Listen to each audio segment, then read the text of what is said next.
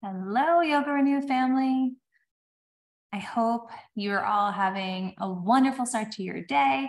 If you're watching me live, welcome. If you are tuning in to the replay, thank you for watching. Um, my name is Kate. I'm the co yoga director at Yoga Renew. If we have not had a chance to meet yet, uh, and I am so excited today to hop on here and be talking about teaching to different levels in your yoga classes uh, which is something I'm really passionate about because I think when you appropriately teach to the level of class that you're leading, it makes the students in your class feel more confident, more comfortable, and like they're in the right place.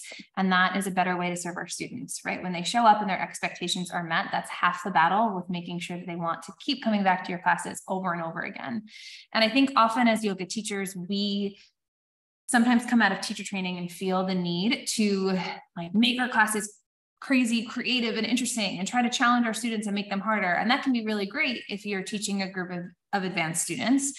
But I know for myself, when I first started teaching, I felt like I wanted to do that because I wanted to teach like my teachers for my training, but I was teaching beginner level students. And sometimes that can make it feel inaccessible to them and off putting because they come in feeling a little bit nervous and unsure of themselves if yoga is new to them. And then if all of a sudden they're not able to do any of the asana throughout the class, that can be a big turnoff and not only leave them maybe not wanting to come back to your class, but maybe feeling like yoga isn't a good fit for them. And I am so passionate about making sure that we do our very best to give our students a lifelong love, love of this practice, right? For a lot of our students, asana is the way in and the introduction to beginning to practice yoga. And then once they get comfortable with the asana, we can start to layer in all of those other things that make yoga so much more than just a workout, right? All the philosophy and the pranayama and all of the other beautiful pieces uh, about this practice. So teaching two different levels is certainly challenging and it is a skill, but I'm hoping that a few of the tips that I have for you today will enable you to do this effectively um, in your classes. So, pretty easy breakdown. Uh, I'm going to go through in our opinion. So, from me and Patrick, and at Yoga Renew, really what we would consider the breakdown for the different levels in your classes, whether you're teaching a vinyasa style or a hatha style. Also, some key things to debunk regarding teaching levels. And then I'll also talk about open level classes, which, in my humble opinion, are the most challenging ones that you can lead because you're kind of like, you can get someone who's like, it's my first class. And then someone's like, I can do headstand for 20 minutes. And you have to try to make it that work. Um, so let's first start with breaking down what I would say the different levels of classes even are. So I think you have beginner level classes. And to me, those are people who have almost never been in a yoga asana pose before. It's their first introduction to yoga. Sometimes it's their first introduction to any kind of movement. They don't always have body awareness and can't even figure out left from right. And everything about moving their body, especially connected to their breath, is totally new to them. That's what I would consider a beginner level class. A level one class in my opinion, would be someone who knows the names of a good amount of poses, but doesn't necessarily understand all of the alignment of how to do them and doesn't easily know how to transition between pose to pose if it's a vinyasa class. So hatha or vinyasa, I think a level one student has familiarity with the pose. So if you say we're going to come to tree pose, they know what that is, or we're going to come to downward facing dog, they know what that is. But they might not be very well versed in the alignment of those poses, and they need a lot more instruction to transition them between pose to pose. A level two or intermediate student at this point is able to transition from pose to pose. They have a fair amount of knowledge about the alignment of the poses that they're moving through and are really looking for you to now take them past just alignment cues and focus more on experiential cues. So once they get into a pose, what should it feel like? What micro adjustments are they able to then make? And then a level three or advanced student, I think, is two ways either starting to work on some of the more very advanced asanas, arm balance, back bends, inversions, uh, like beyond crow pose, all the like one legged crows and the ones where there's you know, legs over shoulders and all that kind of stuff. And or also talking about like very, very nuanced things in your standing poses, talking about how to use the poses to unlock layers of and the energetics in the body who are really moving more towards like a teacher training mindset that are trying to understand either very intricate physical poses or how to pull in all the energetic elements into your more traditional standing poses and things like that. So that kind of advanced mindset and way of looking at the practice.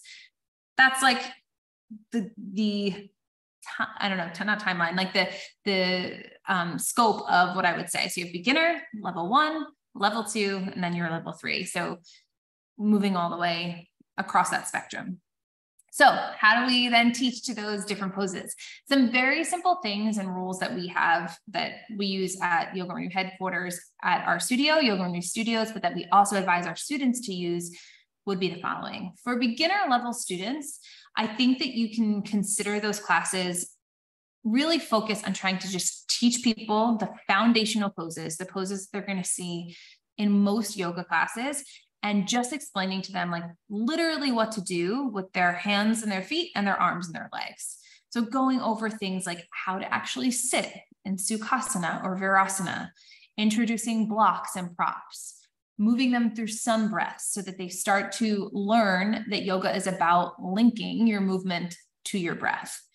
Going through your basic standing poses, triangle pose, warrior two, um, extended side angle, warrior one, possibly, and then some simple balancing poses, right? So tree pose, warrior three, Ardha Chandrasana, half moon pose. And really with your beginner students, you're taking the time to teach them how to move their bodies into these poses. And sometimes it can feel a bit more like a workshop because you probably have to stop and explain things a bit more often than you would in the other classes. Um, for a true beginners class, I almost like to structure them what we would call like a beginner series where we're like, hey, everybody, welcome to yoga let's take a look at how to do downward facing dog. And then you're going to really talk them into how to get into the pose and what to actually do step by step.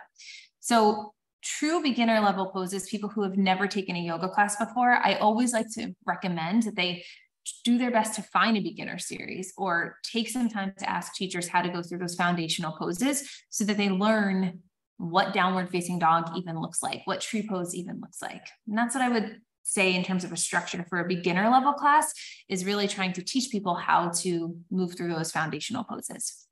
Once you get into level one classes, I think that those require movement, right? So in a level one vinyasa class or a level one hatha class, a big misconception I think is that sometimes teachers structure them only as gentle yoga classes.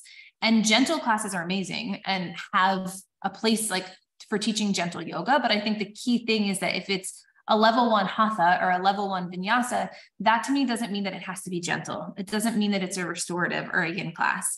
I think the if you're teaching a yin class or restorative class, that's where that practice belongs. But for level one students, if they're coming to take a hatha or a vinyasa class, I think you still lead them through a strong practice, maybe just at a slightly slower pace. So if you're teaching vinyasa, for the way that we would structure it and what that means at our studios and classes means in a level one vinyasa class, we do not offer chaturanga dandasana or upward facing dog in any type of flow sequence. Instead, we bring students forward to plank pose, have them lower down to their belly, take cobra pose, and then move back to downward facing dog. So that's one key difference. Chaturanga is a pose that requires very specific alignment in order for students to do it successfully without hurting themselves. And in a level one class, students are still working on that. So to cue chaturanga through a vinyasa class a ton of times, students risk injury. So we actually don't cue those. Instead, we might teach chaturanga as a peak pose or something of that nature, but mostly cueing to allow people to lower down to their belly. Um, in a hatha class, it might look like really focusing on the strength of standing poses. So you might not do a bunch of chaturangas typically in a hatha class, but maybe you eventually work in some sun salutation, still taking out chaturanga in that level one, but also really focusing on the core standing poses and core standing balances, but in a way where the poses are linked together. So in a beginner series where in like the very, very basic students, beginner students, you are assuming that they might not even know what downward facing dog is. I think in a level one hatha class, you can assume that people do know what downward facing dog is, but now you're going to talk to them about starting to find more space, length, and strength in those poses. So, still taking a look at true, strong physical movement in those hatha and vinyasa classes, as opposed to making them gentle, but just pulling it back from maybe working in a, an extremely fast pace or very intricate uh, transitions. So from a sequencing perspective, maybe only doing like three poses at a time that are linked together so that students can begin to understand like the choreography of how to move their body from pose to pose. In a level one class, I think the cues are still focused on telling people what to do with their limbs. What do I do with my arms? What do I do with my legs? Right? How do I use my arms and my legs to move from pose to pose? and leading your level one students through that experience. For a level two student, as you start to get into more practice, people who have a little bit more familiarity with the poses, uh, at that point, I think you can start to offer in a vinyasa class chaturanga dandasana into upward facing dog as part of the flow sequence. So, one key difference. And then also start to link more and more poses together. So, the pacing can pick up a little bit for a level two student. Because if you say from warrior two come to triangle pose, they know what to do at that point with their arms and their legs. You're still going to cue using that, you know, straighten your leg, reach your arm forward, triangle pose in order to be able to effectively move people through your class. But in a level two class, then once people are in the pose, I think you can start to talk about those more experiential cues. So things about in triangle, now that I'm here, how do I lift my navel in and up and wrap my ribs around to find more strength and length through my core so that I can open my chest more? Right. So it's talking more about these nuanced things that we can do with the breath and smaller micro movements in the body to deepen the experience in a pose. And I think that requires a student who has a bit more familiarity with just moving between pose to pose. So, level one, you're really, your cues are focused on just the how to how do I move my body from one pose to another using my arms and my legs? In a level two class, of course, you're going to go with those how to poses to get people into them. But once people are in the poses, now you're going to layer in more experiential cues. The other key difference here is I think in level two classes, that's when you can start to work on some of the more challenging physical poses, doing full headstand, looking at handstand, looking at crow pose, maybe some of those advanced variations of different arm balances or back bends versus in a level one class, you want to still potentially look at those, but do so with a lot more support using props, hands-on adjustments, things like that. And then if you're teaching really advanced students like level three stuff, um, which I don't think truthfully that happens that often outside of like leading teacher trainings where you're going to have like groups of students in that way that's when I think you could start to almost like break down workshopy stuff, but on it's almost like back to the workshop style of a beginner's class, but maybe you're looking at like a full twisted headstand series and all these like really fancy um, poses. I don't like truthfully, Patrick and I, outside of teacher training, we don't really have a ton of, we don't have any actually like level three classes uh, on the schedule here at the studio because um, it's a very small portion of people who want to take those types of classes. But I think it almost becomes more of like a master class or a workshop type thing where you're teaching very specific asanas to those students. Okay, so quick recap. Beginners, you're teaching them what the poses are. Literally, what is down, what is downward facing dog, what is tree pose, what is triangle pose. Level one, the assumption is people know somewhat of the names of the poses, but now you're teaching them how to link them together by explaining how to move their arms and their legs from pose to pose, whether that's a vinyasa or a hatha class. In a vinyasa style, no chaturanga, just lowering to the belly. In a level two class, now they have familiarity with how to move their body from pose to pose. So you can start to integrate some more faster paced, creative transitions and sequences, and start to layer in that experiential work on the micro movements to find more room to play within the pose um, and connect it to breath. So that's how I would break those down. Now, in terms of teaching to those different individual levels, I think the key that a lot of teachers miss is, like I said in the beginning, showing up and teaching to the level of class that your class is labeled. So if you're teaching a level one class, that's what you've been hired to do, or that's what you've advertised your class is. Even if you can teach a level two, you don't teach level two, right? You teach the level one because that's what you have advertised. You might get level two students who show up to your level one. I would consider myself like a level two, level two, three student and practitioner at this point. I love taking level one classes. I love going back to the basics and having a little bit more groundedness and stillness and time to explore some of those poses myself. I'm not expecting the teacher, though, just because I'm a, a level two student to give me all these like headstand variations as part of a level one practice. I'm expecting the teacher to show up and teach a level one class. And if there are students in your class that are level two students, they show up and they want to do a level one class and they want to like do their own thing, you as a teacher have to figure out what makes sense for you in terms of managing that.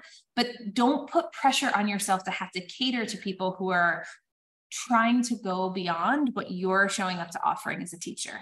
I think your job as a teacher is to serve your students and to do it in a way that is connected to what you have promised them and set the appropriate expectation. So if you if students are coming to your class expecting a level one class because that's what's been advertised, show up and teach them and deliver a level one class confidently and know that there's so much room for all students to learn in any level class. Like the most advanced students should still be able to learn something if they're taking more of a beginner style class because it gives them the time and the space to explore poses that maybe they haven't thought about right from that beginner mindset in a while um, so i think the key is showing up and teaching to the level that you have marketed and advertised now all of that being said what do you do with an open level class right? What do you do when you're teaching at a place where they don't break classes down level by level, where it's just kind of anyone can show up? Maybe that's because that's what the gym, studio, community center, wherever you're teaching has chosen to advertise classes at. Maybe that's because you're working on building up your classes and you don't want to necessarily have to say, you want to get as many people as possible to come. So, how do you basically combine stuff when you have all different levels in a class? in my opinion, the easiest way to do that outside of like true beginners, people who are like, I've never taken a yoga class before, because I think they really need to go through more of like a true beginner style class. If you have a mix of level one, level two students, I think if you're choosing to sequence, as we always recommend, to a peak pose, you can choose to do a level two peak pose, but lead your sequence first sequencing the level one options with an option to increase the difficulty of a pose at a level two style. Meaning something like in a level one class, if I'm going to teach um, revolved extended side angle, right? So like the twist where you hook your elbow outside of your front leg. In a level one class, I always cue that where I say step to a low lunge, tap your back knee down, take your hand to your thigh, hook your elbow, find the twist, breathe here. And like that's it. So the back knee stays down the whole time for me when I teach that in a level one class. Versus in a level two, I then say like lift your back leg, maybe you open your, up your arms, maybe you take your top arm over your head. So in a level one, I would only cue with the back knee down. In a level two, I would always cue with the back leg lifted. In an open level class, I would first cue the level one option. So step to that low lunge, tap your back knee down, hook your elbow, find your twist. Then I would say, if you'd like to take this a little further, tuck your back toes under, lift your back leg. Maybe you open up your arms, maybe you reach your top arm over your head. And now this gives your level one students a place to stop and stay. And then it gives your level two students the option to take it a little further. This is very different than first cueing the level two and then backtracking it. And I want to explain the difference here. Again, I think the goal as a teacher should be for you to make sure that every single student who takes your class feels comfortable and confident and taken care of and seen. And whether we understand it fully or not, people come in with insecurities and want to feel like they're able to keep up and do what you're asking them as a teacher. It's a different feeling as a student to have a teacher say, step forward, keep your back leg lifted, turn, hook your elbow, open up your arms, take your time arm over your head. If you can't do that, then just leave your hands in prayer or put your palm or put your knee down. Right? That that phrasing of like this is what I want you to do, but if you can't, here's how to make it easier. It feels really different than presenting the level 1 option first. Hey everybody, put your back knee down, find the twist. You can stay right here and breathe. This is a perfect place to be. If you'd like to take it up a notch, Feel free to lift your back leg, open up your arms, reach your top arm over your head. Either option is great. So you're teaching that you're presenting both options in either scenario, but the difference in an open level class of first cueing the level one and saying, like, this is really where we're all going to be. If you want to go further, take the choice, but you're totally good here in the level one feels still inviting and inclusive and like you're seeing all of your students and presenting them with this option of where we can all be versus teaching a level two and then making level one students feel like oh you can't do that. Like go ahead and back it off. So in terms of teaching open level classes my advice is always cue it like a level one with level two options but you can still choose to work on level two poses as a peak pose and just make sure that you give stops along the way to allow students a place to work. So that might be that you offer tripod headstand as a peak pose, but you first teach tripod headstand prep. So option one today, you can take tripod headstand prep and you cue everybody in how to do that. If you want to play with the full version, knees come into chest and your legs lift over your head. And now you can take, you know, full tripod headstand. I think the success of an open level class comes from the way that you approach it as a teacher and making every student feel like there's a place for them to work. And I think oftentimes where teachers struggle is jumping straight to trying to teach to the most advanced student and then feeling like there's a lot of people who can't keep up. And that starts to create some chaos. Students who have an established yoga practice, they remember what it was like to start, right? To be a more beginner student. And so usually they're totally happy to hang there. And if they want to increase the, difficulty of some poses, they can do that for themselves. Versus someone who's brand new or newer doesn't know how to modify things to make it easier for them. So, as a teacher, in leading people with different levels, if you show up and cue to your newer students, you're going to serve all of the students in your class in a much more beneficial way than if you try to cater only to your students who have a more advanced practice. Um, yeah. So that over time is what I have found. I like for real, real, I think teaching open level classes is some of the most challenging thing that you can do. Uh, it's super hard because you just never know who's going to show up. Like you never know if you're going to have for people that are like, I want to do drop backs at the wall and practice full wheel, and someone who's like, I've never done bridge pose before. You know, the the span of experience can be so challenging to lead as a teacher. And I think as long as you show up with the intention of trying to make everyone feel seen, feel comfortable, and feel like you're there to, to serve them and take care of them, you're going to be successful. And as a general default, always some like last kind of tip to share is have a few things in your back pocket of places where people can like stay and be and breathe if they choose. So offering at the beginning of your class, having everyone come to child's pose and just saying, if at any time you need a reset, please feel free to come to child's pose during this practice. Or I always think like when we're working on a peak pose, if it's a challenging arm balance or back bend or uh, inversion, having everyone say like if you're not looking to do any of this with us grab a block put it under your seat come to sit in virasana hands in your lap eyes closed focus on some meditative breaths just being able to give people and cue it in front of everyone a place to work makes them feel more successful because it's like, okay, I don't want to go upside down or I don't want to try that arm balance. But the other alternative is I can sit here and I can just breathe. And the teacher said that, and that's okay. So I don't look like I'm doing something weird, you know. Um, it's a crazy, it's a crazy experience this yoga practice because I think as teachers, we feel like it's the most inviting thing. Once you've gone through and decided to do a yoga teacher training, you have found magic in this practice. In some way, it has changed your life and you love it so much.